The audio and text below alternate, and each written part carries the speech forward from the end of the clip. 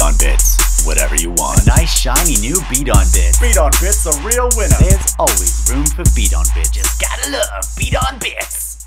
Hey, everybody. Welcome to another episode of the bdonbits podcast. This is the show where I talk about passions, projects, and playlists with some pretty cool people. Today I have joining me Hitomi from Minnesota. Uh, she works in publishing and she's joining us to talk about a few things that she's passionate about, including video games and board games, fashion, food, and languages. So we'll just jump right into it. So if you want to say hi Hitomi and tell us a little bit about yourself and maybe just choose one of these passions to get us started and we'll just go from there. Sure. Hey guys, uh, my name is Hitomi, um, and I live in the Midwest. Kind of boring, but um, I went to school for fashion design, and that's my ultimate passion is to design clothes. Um, I kind of go between wanting to work for a company or designing on my own and having my own um, label. Um, currently, I also uh, work in publishing, and I kind of do that as like my full time job. I obviously like just you know you got to work to pay the bills, but I personally um, chose an interest in working in publishing because it's still kind of a creative field. You know, you have artists of some sort, you know, putting out their work, like creating it themselves, writing it, whatever, and then you know obviously the publishing world of publishing their work. Um, so it's really cool to be able to work with creative people still, even if it's not the same type of um, kind of art that I do. But um, it's, it's also a really big thing to learn about like an industry, whether, whether it's you know a fashion industry or some other industry where it comes when it comes down to um, you know producing your work and you know putting it out there. So it's it's still a really good um, learning experience for me. So I do enjoy doing that. Um, I'm sorry, what was the other thing? no worries, you're on a roll. It's okay. Uh, Yeah. you, you mentioned like you want to start a, uh, like a like your own fashion brand and design and stuff too, and you can see like all the nice fancy threads and stuff in the backgrounds. Maybe we're getting a sneak peek at some future big hits for projects. uh, But I just said um, like uh, just out of the passions list that we mentioned at the start about video games and board games, fashion, food, and languages. Maybe we'll just choose one of those to focus on first, and then just elaborate on that. So if you want to pick one, and then I'll just ask you about that. Yeah, I mean, since we're talking about fashion, we can do that first. Yeah, Um, sure. So I, I, I said I went to school for fashion design. Um, I don't remember when I graduated. it's been a bit, but um, I really love doing fashion shows, and that's like one of my favorite things about it is being able to do like a live show and be able to show the work that I've been doing and like all the creative things that come to my mind. Um, and I actually took a break from designing for maybe like total of three or four years, and I'm kind of just getting back into it. So I'm really excited to um, continue doing that again, and that's partially why I have like things kind of set up, um, so I can start doing that again, and hopefully be able to do a show again soon. Nice. if not, um, just like kind of in the immediate future, obviously do photo shoots and stuff, and I actually want to make uh, YouTube videos on some of my designs, like either showing it off or maybe talking about the process. Um, so yeah, that's kind of where I'm thinking of going with my designs again. Um, I didn't like before, like I said, I've done shows, but I've never done really like any advertising on social media and stuff like that. I mean, it didn't. It existed when I was designing, but it it, it hasn't been as big as social media is now. So yeah. being able to like make a YouTube video about it would be awesome. So it's kind Yeah. of what I'm really excited to do. That, I think that would be such a cool thing to be able to kind of see the creative process behind some of the outfits and then get information on an upcoming fashion show and then see this thing on the runway or wherever it's going to be that someone got to see like kind of from start to finish. So that'd be pretty cool. So when you were doing fashion shows before, what were those like? Was it just kind of like for runways or what kind of events were you doing there? Um, so it was kind of different things. Uh, Um, unfortunately, the fashion scene here isn't very big. Like you know, like New York or something. We have a very small like creative fashion community. So there's not actually a lot of shows that are available here. Um, one of my good friends, um, Samantha Ray, she was actually on the last Project Runway. Oh wow. Um, she does. She produces a show every year here that's more kind of like um, anime inspired, like Japanese culture inspired. yeah. Um, and I've done stuff for that show. Um, the the only thing I find difficult about doing shows is that I like really more intricate and avant-garde and couture kind of style rather than um, like fast fashion stuff that you might find at Forever 21 or Target. You know, it's like that kind of like normal stuff isn't really my thing, and I feel like the um, kind of the scene here is more more wearable stuff, more things that you can wear on the daily basis, and that's not what I really like to do. Yeah. So it's kind of hard for me to find shows locally that I can show my stuff at and feel like I'm getting something out of it besides, you know, sharing my work with everyone. Mhm. So I might, I mean, in the future, I might see if I can do shows elsewhere, you know, um, like some of the bigger cities like Chicago or New York. Well, New York's hard and, and expensive, but, you know, like kind of a bigger city than where I am right now. So, Yeah, that'd be awesome. yeah. Have you got to like travel to any of the bigger cities and watch some fashion shows or events like that and kind of get some ideas or just get inspired? I have not. Um, and see, one of the things is like with when it comes to the fashion kind of community, not just here but in large. Um, like I was saying, that social media media when I was like actively designing wasn't huge. Like you don't see people posting YouTube videos on like, oh, I'm making this fashion line, and you know, here's here it is. I mean, a lot of it was photographs. Like you just see it in magazine, you'd see it online. Like that's the way that you share your designs but like the only the only kind of like 3d media of it would be at fashion shows in new york or london and all that stuff so that's kind of why i'm excited to do this again and be able to show it on youtube because like now any of us can make a video Yeah. and show it show like um, an outfit in 3d and be able to see the movement or see like really intricate things that you can't see just on a photo. Um, so yeah i guess i haven't personally seen a show um, but i you know obviously i watch videos and stuff like that. I watch, I watch runway stuff and um, i would love to go to one and see it live. I mean a, a lot of the um, couture fashion that I enjoy are obviously stuff that you see on the London runways and New York, the New York runways. So it'd be really cool to see. Cool. Are, are you following like any uh, specific fashion related shows or series or channels or things like that that people should check out if they're also interested in it?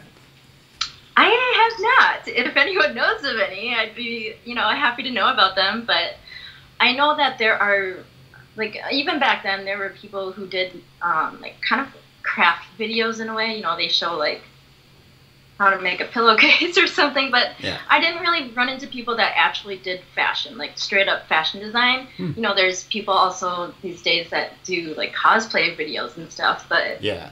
um, more like original original designs and like actual fashion design. Like that's something that I don't really know of. I haven't actually gone out to look for them, but you know, you bring that up and it's something I should probably look into. Yeah, I guess that's just a, a side effect of this show is to kind of inspire not only people watching, but even guests to kind of, I don't know, put more time into their passion and enjoy it to the fullest kind Yeah. of thing. But yeah, no, that's really cool. You mentioned cosplay as well. Have you ever been to kind of any expos and things and seen some cosplayers or done it yourself or designed any of that stuff? Or that's more outside of your focus? it's definitely outside of my focus. Um, it's more because I want to be able to spend my time making something that's original rather Mm. than Like copying the Okay. design, yeah. yeah, you know, um, and you know, back then, I, I, there is a lot of cosplay, even where I live, like a lot of people that do kind of sell clothing. They, they're usually someone who cosplays, and um, I've never really been interested in it, and uh, I actually, for a while, I kind of looked down upon it because I was, it was, it was really annoying that people would associate me like making clothes or being able to sew with cosplay. They'd be like, "Oh, do you cosplay or do you make cosplay?" And it's just like, "No, I don't. I'm actually a designer. Like I, I actually make my own things and design my own things. I don't just take a picture and, you know, make it." Yeah, and um, but um, as as that community has grown, like I actually find um, people that I find really respectful that um, have really good skill to make the cosplay look really, really good or really realistic or close to what the actual, you know, character design was. Yeah. Um, so I do have respect for that and for people who do a really amazing job doing those. Mhm. Um, but it's just personally not something that I do. Yeah, So- no, totally understand. sorry, sorry if I uh, Oh. brought up any bad memories. No, no, it's okay. it's Yeah. also well, it's all it's also so it's like a combination of things. It's the fact that I tell people I can sew and kind of that I'm Asian, and they're just like, "Oh, do you cosplay?" I'm like, "No." yeah, I don't know. I, I I haven't really been to much of the Midwest, but I just assume from kind of the Midwestern, I don't know, stereotype for lack of a better word that they're more prone to all the different kind of stereotypes there. So it's easy to just kind of box somebody in like that. yeah. Yeah. So But um, I, I mean, I have gone to cons. Um, yeah, I actually used to go to the one of the biggest cons at Anime Expo in California. Hmm. So I actually used to go there kind of every year for like a few years, but it was more because um, I just had a lot of friends that would go. Oh So I, it, it was like my only chance to go to my friends because we all live in different places. Like yeah. I, I would even have friends from Canada that went there, and then we met up. So Oh cool. that's that's kind of the only reason I would go. But yeah, How did you, if you don't mind me asking, how did you like kind of meet all these people from all over the place and like coordinate something to all gather there? Would you are you part of like different communities and stuff or like online? um, so this kind of dates me, but I the first person I met in Canada was through. I think I met them through the internet, but yeah, actually, okay, sorry. I did meet that person through the internet. It was just like you know some like chat room thing, and Oh, we okay, just okay. became really good friends. And I met a bunch of other people through that person in Canada, Oh. and so like I don't know, we'd all like meet up in California whenever Anime Expo would come along. That's pretty cool. I don't think our chat room's really that dated. I, I feel like, well, honestly, I can't remember the last time I used one. Yeah. well, I, what I was originally going to say when I said it, it was going to date myself is I I was thinking I had met that specific person through like pen paling. oh, uh, well, some people still pen pal nowadays. It's like nostalgic and, and more personal. I guess Um, I don't know. Maybe. Yeah, I, I tried pen paling like I don't know a few years ago, and it was it was fun. It felt fun, even though like my friends lived like pretty close, but it was just like a fun thing to try. They were kind of like locally. It, well, like s- say like within a less than a three hour drive. Okay. Yeah, but it was it was just it was fun. Yeah, so uh, that was a pretty nice like overview and insight into kind of your passion about the whole fashion industry and design and stuff. Did you have anything else that you want to mention about it, or do you want to move on to another item on our list? Uh, not really. I'm really excited for the Alexander McQueen movie that's coming out. He's one of my like fashion designer icons, someone I like Hmm. look up to and have been inspired by. And there's a movie that's gonna, or kind of like a documentary, I think, um, that will come out about him. And um, I think like it's really nice that there's these all these like documentaries coming out out about designers. Like there's a bunch on like Netflix about people like Dior and Oh, Chanel yeah, and everything like that. And it's really cool to be able to see that and kind of get inspired by that stuff and also just like learn their process. Yeah. And so um, having this new one coming out soon, I am super excited about it. And the fact that he's one of my favorite designers is really exciting. Yeah. What, what is it? What are some things that you like specifically about his designs? I'm sorry, I couldn't hear what you said. What did you say? Oh, sorry. Uh, I I was just asking, what are some things that you like about his designs? Oh, um, he's kind of got a more darker um, aesthetic So more like kind of punk gothic. I, that's kind of my. I grew up as a goth girl in a way. Um, so just having an alternative style um, background and inspiration, um, I think that's why I'm, I'm attracted to his stuff. They're more. Yeah, they're just more darker. It's not. You know, you've got like Dior's sophistication in like you know these beautiful dresses and gowns and stuff, and he Alexander McQueen, you know, designed these. I, uh, I don't know if you know if if you're familiar with his work, but it's stuff like you would see Lady Gaga wear, and that's Oh. it's very creative. You know, it's something out of the box, and I like that. I like things that are different or just aesthetically weird. Did he do Lady Gaga's meat dress? Um, I, I don't know if he did that, but he did. Um, what is that video? Um, I think like if it's in one of her music videos, it's probably pretty good looking because I know. Yeah. Yeah. it's it's it's in one of her music videos. I can't remember the song though. Yeah. But it's just But- like one specific one, or did he do a few, or just one sticks I'm out for sure you? he's done several. I know that they, I know that she wore a lot of his stuff. So That's cool. But that kind of gives like a good idea of you just say Lady Gaga's fashion, and then yes, the picture comes to mind.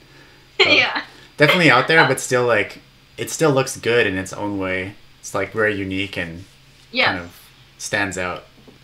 yes. That's exactly like what I like. Awesome. Cool. Is that like kind of the feel you're hoping to maybe eventually achieve with your own designs? Um, I think so. Uh, like I said, it's really hard for me here to be able to show my stuff and generate that interest in buyers or like you know Mm. it's obviously things that you might not wear every day Yeah. you might have to go to like the met gala to wear it, but you know I'm, I'm sure there's an audience for it. yeah Yeah. there definitely is That's cool. Awesome. So that was uh I guess kind of a nice uh interesting tip on what's coming up for fashion documentaries. What's it called and like when is it coming out?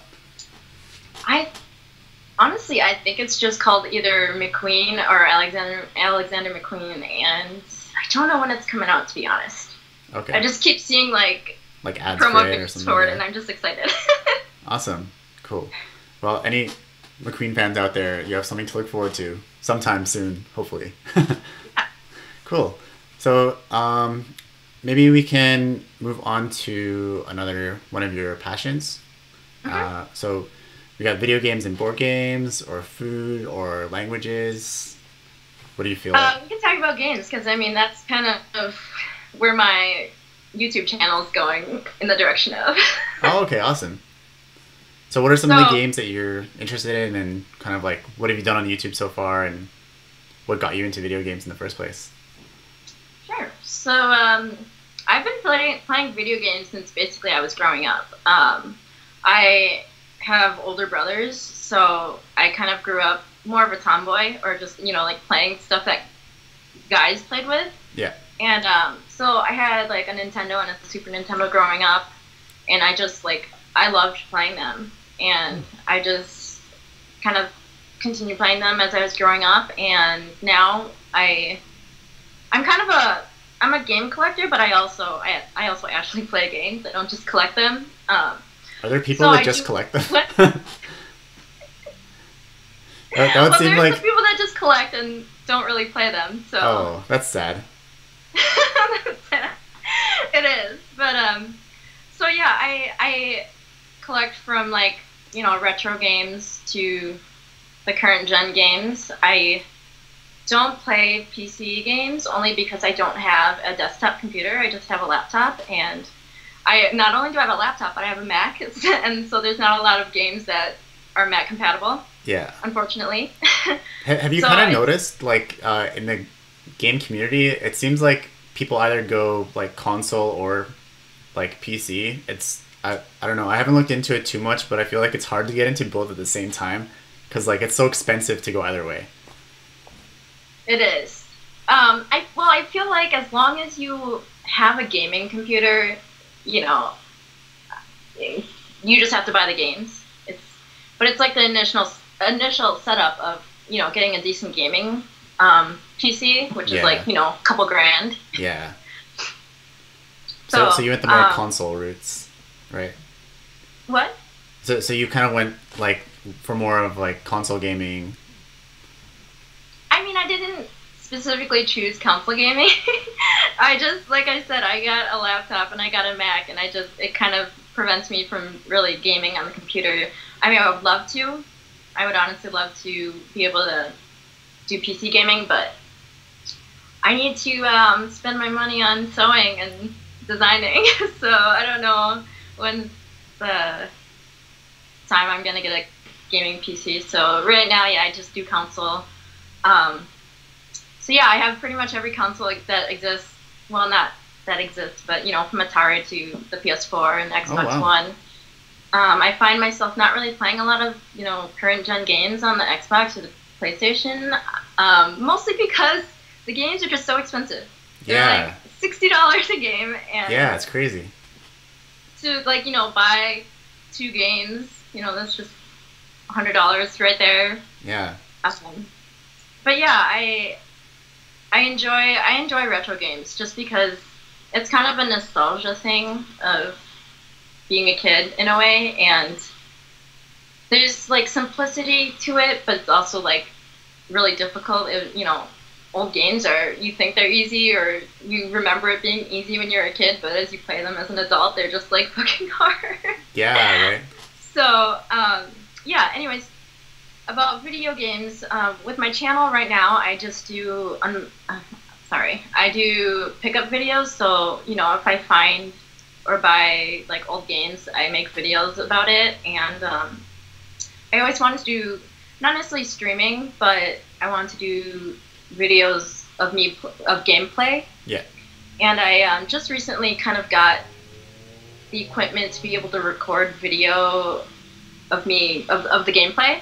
Oh, So um, I'm looking forward to being able to to do gameplay videos on my channel. And um, one of the reasons I want to do that is I want to be able to share like more obscure or smaller games that people don't really play yeah. kind of, or that you know everyone does videos or do or does streaming of all these like new games like Fortnite and you know whatever is big at the moment, or all these um, kind of first-person shooter games that's online, and I want to be I want to make videos of games that are like kind of older and that were fun or are fun or that people don't know a lot about of. hmm Um, and I have several like Japanese games, like lesser known Japanese games that I do want to share with people. And Oh, cool. I don't know, I kind of, I kind of want to be able to share games that people either don't know about or forgot about, and kind of, you know, remind people they exist and to play them. Cool. Are, there any of those specific games that you have in your mind right now, or ones that you've picked up recently or made videos about already that you want to share about, like those kind of niche games? Um, I haven't made any videos yet, but um, there's this Game Boy game called Noobow, and it's kind of a puzzle platformer. So think like you know, like a side scroller Mario game with um, like little puzzles that you have to do Hmm. on the board to be able to advance to the next level. Okay. Um, it's not like it's not like trying to get to the end of the the map or the level. It's kind of doing little puzzles within the map to be able to go on to the next level. Oh. Um, but it's really cool. It's like I I actually didn't know about it until I picked up the game, and it was like I don't know a less than five dollar game. And Oh wow. um, when I tried to look it up, I think I found like maybe two videos on YouTube about it, but it was just like, and like the first level, first couple level gameplay, and like there was no explanation about it. It was just like a video of the gameplay. Oh. So it'd be cool to be able to like actually talk about it and Yeah, you'd be like the first tell one. people about it. Yeah, that's cool. So when are you gonna play that one? Um, hopefully soon. I t- like I literally just got my equipment like a couple days ago, and I've been setting it up since then, and I've been testing like how to record and all that stuff. So as soon as I get that kind of recording process down, I want to like do a video. Awesome. That's cool. And then you playing board games as well, or just mostly video games? Oh yeah, I love board games. Um, my only issue is I just like don't really have anyone to play play them with. Oh. Um, I just like I'm just a busy person, and everyone else I know is busy. It's hard to like you know get people over and play, but I would love to do videos of board games and like kind of show the gameplay and review them. Um, I did do one board game review, and it was on a Mary and Ashley board game that I just happened to find, and I was like, I gotta like do a video of this. I bet no one has ever like done a video or seen this, and I haven't. I I think I like did a quick Google search, and I didn't find anyone that ever like reviewed it or anything. So I was like, this is awesome. so being able to just like um, make videos on board games that aren't as big. That's also like I like to share like weird or like smaller, lesser known things. Yeah, that's really cool. I've never. What was the name of it? I haven't even heard of that one before. Um, it I think it was based off of their like last movie that they ever did, which was New York Minute. Oh. Yeah. That's. Oh, okay. One of those like movie to board game adaptation Yeah. things. Yeah. I mean, it wasn't actually that bad of a game, but you know, it was just like, okay, this is weird. Yeah.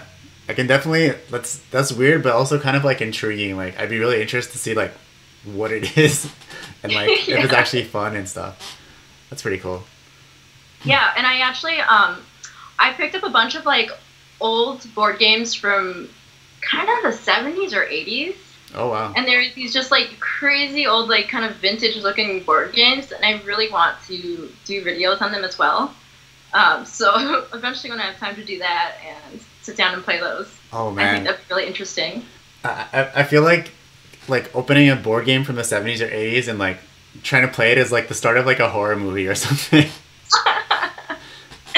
there's um there's like this old like 70s or 80s board game of Close Encounters. oh no. Do you know that? No. Okay, so I haven't played it yet, but it's like I, and this and the board is just like this board of like I think it's like a grid and it has just numbers on it or something.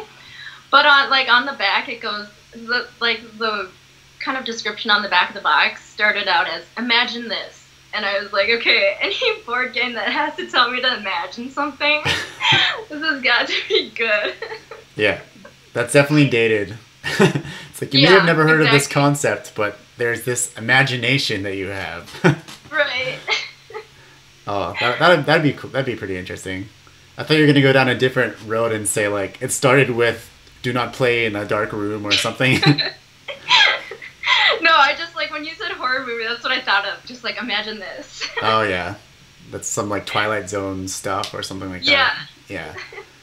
that's cool. Yeah, I haven't heard of like, of course, video game streaming and stuff is so huge right now, but Mhm. I've I've never even thought of to look up like board game play or reviews and stuff. So, have have you uh, like delved much into that, into those searches or anything, and saw that if there's a lot of people doing that?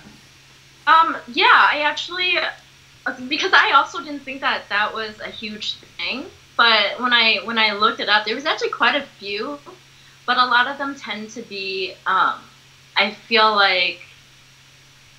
I don't know how to say it, but like those really like nerdy board games. Yeah. um, like, uh, yeah, I don't know. I don't even know. I can't even tell you an example because I just don't. I'm not interested in those kind of board games. Those are like, those are like board games I imagine people who play Magic or D and D would play. Are those like?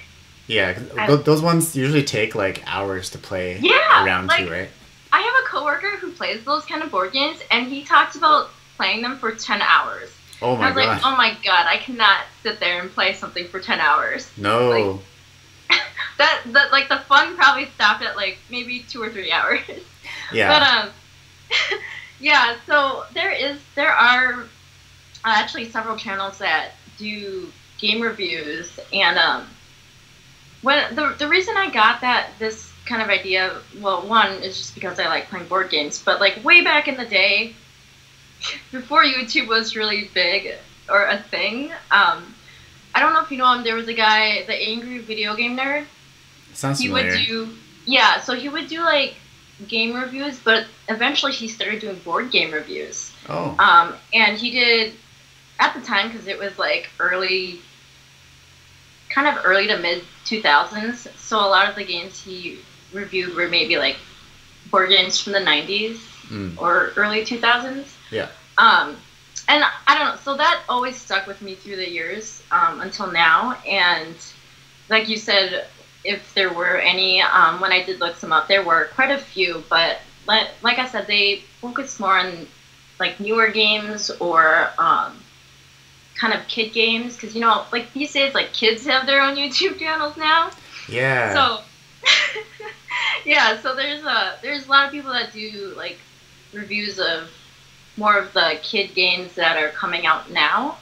Um, oh, okay. But I don't see a lot on like really old or kind of more smaller obscure games, which is also kind of my niche where I like to find all the weird like ones that no one knows about.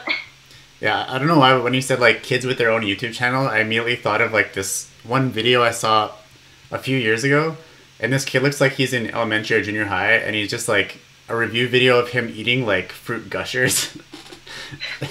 I don't know why, and I think it had like quite a lot of views, and it was not even a real review. He's like, "Yeah, it's good," and then like that was his video. But I know Like, there's okay, some like so- yeah kid So YouTubers kid with tons of videos views. that I think about when I like hear that are like when when like parents film their kid because their kid wants to do a, a video of them reviewing like a toy got, they got or something. Oh yeah, yeah. But, I I think that- yeah, that'd so be more interesting to watch than like Yeah. a kid eating gushers. That's cool. So yeah, that'll be really cool if you can kind of get the first video of like specific games out there too. yeah, even though even if it's not a popular game, I'm sure people have still searched for it, trying to find like what it is, or even just discover new ones and things like that. Yeah. Yeah. Yeah, that's like I mean that's kind of why I started doing uh, a YouTube channel was because I wanted to like I have a lot of passion in some of my interests like Mhm. the ones we've been talking about and um, some of it is like I I seem to know like about weird things or like more lesser known things within the genre and I want to be able to share that with people like I think that it's I think it's really interesting personally, and Yeah. so I don't know. I feel like maybe someone else would. Yeah, of course. Even I think I just have this feeling that no matter how weird your interest or passion or something is, there's always like somebody else out there at least who like likes the same thing. So if they Right. find it, yeah, then you're gonna be like their favorite thing to watch, kind of thing. Right. I think my biggest challenge though when it comes to making videos is the, like how do I present this without it being boring but also being informational?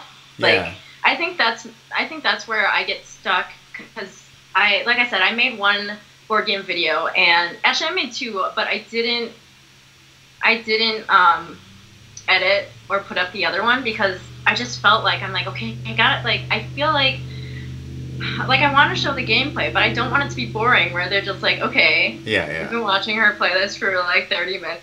Like, you know? so I'm trying to find like a really good way to show like the gameplay, but also have it be interesting. Yeah. Yeah, I think that's such a challenge because I, I think it, it's so easy to just like pick up your phone and record something or your camera or whatever you have and just you can upload it with one button, but the real difference comes in like your editing skills and all that and it's so hard to make it fun and watchable, especially if it's like a longer video. Right. Yeah, so I don't know. I don't know what the secret sauce is for that, but there's like a lot of I think a lot of practice has to go into your editing and and things like that to make those watchable. But Yeah. At least you have the content to start, and then that can come after. I have a lot of content ideas. It's just being able to like present it in a way that's not that like you know people want to watch it for ten minutes or something. yeah. Oh, I'm having that challenge because my interviews are all like 40 to 50 minutes. Yeah. I, I watch them all because I think they're interesting, and I think I get to talk like to some interesting people and stuff. But for like Yeah. typical viewer, it's hard to get someone to pay attention for more than like three minutes, let alone Right. thirty. Yeah. yeah. I So- think like isn't there isn't there a thing where it's like most people will watch for like you know 10 to 30 seconds and if it doesn't interest them in the first you know x amount of time they don't watch it uh, Yeah, that makes sense. Maybe I should have I don't know like explosions at the start of my videos or something. I don't know, whatever it would take. Really, but you know, one of the my, one of my biggest pet peeves when it comes to like YouTube or like videos or st- and stuff like that is like clickbait. Like I really Yeah, I don't want to put something out just for people to click on it. Be like, you know, a picture of me stabbing someone. You know, someone might, you know, that would get clicks. And Yeah. in the video, I'm like just talking. You know, like I don't want to just make people click on my videos because I have something that's unrelated to the video. Yeah. I I, th- I think I read something about YouTube um, adding something to kind of counter that, in that if there's like a lot of people who click something and then just like leave within the first few seconds because it wasn't true to the thumbnail, they're just gonna like bury that video. Yeah. Yeah, so I think like no no one likes clickbait, not even the people like making YouTube. So they're also trying to hide it. So that's good. It's just so hard to get around it though. Whenever I like, you know, go on YouTube and try and find like new things to watch or like even a new you know, creator to watch, it's so hard to find like weed out all that clickbait. So Yeah, I don't know. I'll, I'll figure it out. so speaking of stabbing somebody, um, let's talk about food. That was a really bad segue. But Okay, wait, sorry, what did you say? I was laughing. So, so you have like uh, also food and languages on your list of passions, and then I don't know why, but when you talked about a thumbnail of stabbing someone, I would just like thought of, oh, that's gonna be clickbait for like someone like eating steak or something because they're like holding a knife. and yeah, so I just thought of like you have food on your passions list. Maybe we could nicely but strangely transition into that one. yeah, no. Um, yeah, I love I I love food. I love eating it. I love um, cooking. Well, actually, okay, I don't love cooking, but like I've found like a passion in cooking and like trying new recipes and stuff like that. So. Um, also, I'm very, I'm very into subscription boxes, and that's the other half of my channel right now is Oh, yeah, subscription yeah. boxes. And um, so, doing those like meal delivery services, Yeah, like uh, Blue Apron and stuff like that, like those are so amazing. Like I, okay, so I know part of it is I should review like the actual taste of the food or the recipe, yeah, but half of me just like is just super excited to get this box and this stuff of food and like I don't know. I just get really excited about it. But um so I do I do enjoy like cooking. Um I love going out to eat and trying new places. Like that's like a huge thing. I love trying new places. Whenever there's a new restaurant opening up, um I'm like always wanting. I'm like, let's go. awesome. Do you have like specific yeah, types I mean, I just or? have a passion for food in general. Like, Oh, okay. Nice. So, which have you tried like a few different of these like um, meal prep box providers and things like that, or just like a specific one? How do they compare? Okay, so I've I've tried two. okay. Um, I've tried Home Chef and uh, and Green Chef. Um, the only reason I've only tried a couple of them is because I actually can't eat dairy. Oh. okay. So being able to find like um, being able to find those kind of services that have dietary restriction like things in mind is very hard. And um, think I there are a few, and those two I think do it have like a dairy free option or like one that or one that has like less dairy or something. Um, so that's like my biggest thing about those is they do they have started doing like you know vegan ones. They've done gluten free ones and but dairy free no. like that's not a huge reading these things.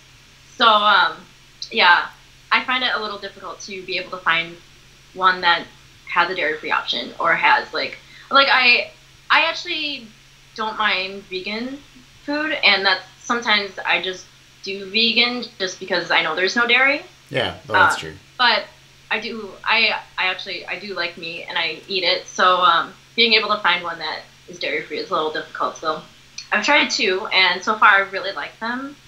Um, yeah. That's pretty good. I, I just realized that we're we're almost like to the point in the show where I switch to music and wrap it up already. so I don't know if we'll have even time to talk about languages much, but if you want to maybe lightning round what you're passionate about about languages, and then we can go into the music. Yeah, I mean, there's honestly there's not too much to talk about that to be honest. I I love languages, but I'm like I am not really good at learning them.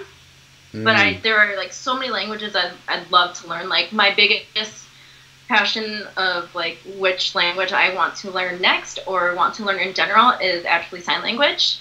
Oh, cool. Um, I think it's really interesting. I think it's really useful. Um, I would love to be able to, you know, help random people that are deaf or are hard of hearing and just happen to be right next to them and can help them. Yeah. Um, but no, like I, I really want to learn that. Um, the only thing that the downside of ASL is that it's it's different in, in every country. You know, like yeah. if I learn it, I won't be able to use it. And like I, I mean, I usually travel to Asia, so like I couldn't go to Asia and use it. You know, it's it's different everywhere. Um, that's the only sucky thing about that. But yeah, I, I mean, growing up, I've learned Chinese, Japanese, French. I'm not like 100% fluent in any of those, but I can get by. Um, so yeah, I just I love languages. I love, you know, the sound of it, the ability to be able to read things from a different country and understand things. So. Yeah, it totally like opens a new part of your mind, and it just like feels different, and then just really cool to be able to see something like familiar but not, but still like foreign to you when you go other places. Like, right. you can read and interact, and yeah, it's it's really cool. I'm a big pa- yeah. I'm a big passionate about um language learning and stuff too. So okay. I wish we could have had more time for that, but we're like almost at the end, so I have to. Yeah, sorry. no worries, no, no. It was it was a good talk so far. So yeah, it's time just flies by when you're not paying attention to it. So yeah, let's. Those were the uh, passions and projects so far. So let's jump into the playlist and the songs that you provided me before the episode include Jessie J's masterpiece, X Japan's Jade, Lindsey Stirling's Crystallize and Katy Perry's Unconditionally. So maybe if you want to choose one of those to start us off with, and then tell us what you like about the songs or the artists, or what you like about the music you chose in general. Sure. Um, so I guess we can start with Jessie J's masterpiece. Um, so I found that really that song like really inspiring, and um, I I have battled with mental health myself, like depression and all that stuff. Um, so having a song that kind of encourages the fact that like we're not perfect. We all have our issues and problems and stuff like that, and that we're always working on ourselves.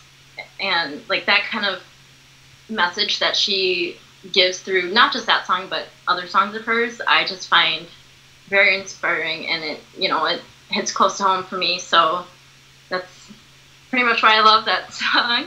Um, fun fact: I'm actually going to see her live at the end of this year. So. Oh, awesome! yeah, that'll be fun. Yeah. Um. So, do I talk about all of them or just? Yeah, sure. Okay, so um, the other one, X Japan Jade, um, kind of the same, kind of the same idea. I mean, it's X Japan has been a band that I've loved for a while. They're from Japan, obviously. I don't know if anyone knows, but uh, they, uh, the band itself, like they've gone through a lot of hardship as a band. Like they've lost, um, they've lost uh, band members from not, I, I wouldn't say suicide, but you know, people who had also mental issues, and um, it's kind of I feel like an ode to being like that kind of depression and problems and stuff like that. So um, it's just, I don't know, I find it really beautiful. And they, I think it's one of, if not their only song completely in English. Hmm. Um, so it was, I don't know, it's just, uh, the minute I heard it, I just fell in love with it. Oh, that's cool. um, and it came from like a documentary. Oh shit.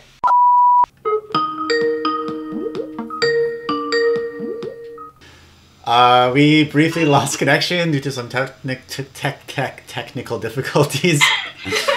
uh, yeah, so that's why it's a different background and stuff now. But we'll pick up where we left off and wrap it up because we're almost at the end. So you just talked about X Japan's Jade, and you're about to mention Lindsey Stirling's Crystallized and Katy Perry's Unconditionally. Yeah, so uh, with Lindsey Stirling's Crystallize, um, obviously there's no lyrics in it, uh, but I happened to see her live, and that specific song live just somehow touched me. Like, there was so much emotion in it, and I could feel it.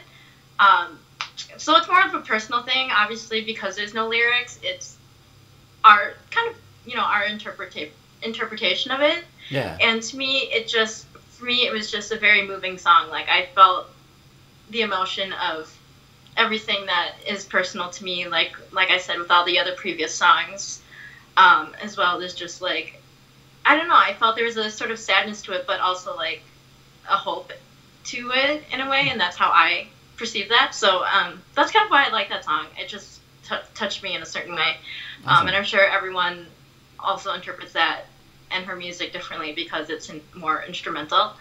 Um, and then so with Katy Perry's Unconditionally, um, it kind of goes in the same um, way as we're we're not perfect, and um, we always have to learn how to care and love someone for who they are, and like you know, no matter what is whether it's in their past or how they currently are as a person, like their faults, like we are able to love people unconditionally no matter what.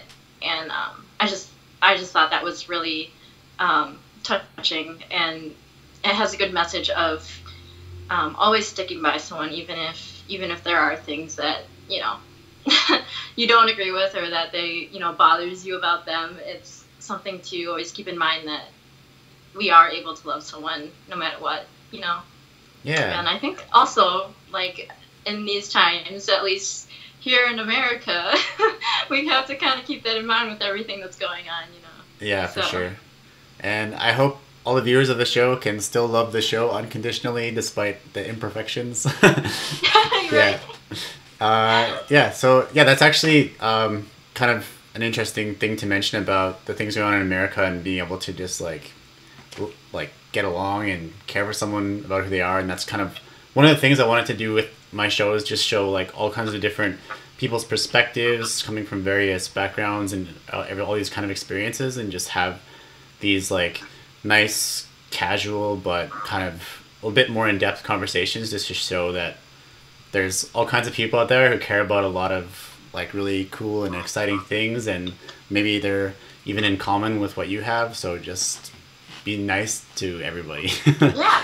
yeah, Yeah. so yeah thanks for um, being a guest on the show thanks for coming on and uh, if anyone watching the show wants to find you on social media or anything how can they do that Um, so you can find me on YouTube under Hitomi in Wonderland. Um, I've been named that just obviously because I want to create a world that is fun and everyone can enjoy. Um, my Instagram is xdamaged. Um, it's spelled a little different way, so I can give it to you to um, you know put on the screen or whatever. Plug it down it. in the description. Yeah. Um, so yeah, I think those are the only two really places you can follow me. I have other ones, but I don't really update those very often. okay no worries so yeah that brings us to the end of another episode of the beat podcast if you like what you saw on the show you can subscribe to my channel at bdonbits or follow me on facebook twitter instagram at bdonbits as well uh, so that yeah that's it that's that's another episode thanks for watching thanks for listening if you want to say bye tommy Sure. Thank bye. you for having me on this show. It was really, really fun. I really enjoyed it. Um, also meeting someone new. It's awesome. So thank you so much for this, and we'll probably keep talking. Thank you. Bye. awesome thanks again bye everybody